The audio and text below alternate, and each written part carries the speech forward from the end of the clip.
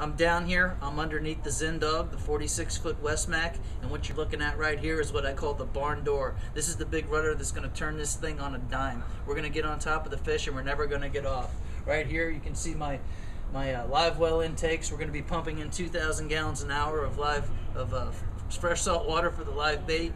We're also going to be putting on a 34 by 36 inch five blade prop on this son bitch. We're going to be able to run this sucker about 30 knots, and I couldn't get any more fired up. We're underneath the Zinndog, and Captain Jeff is just running that dog on him.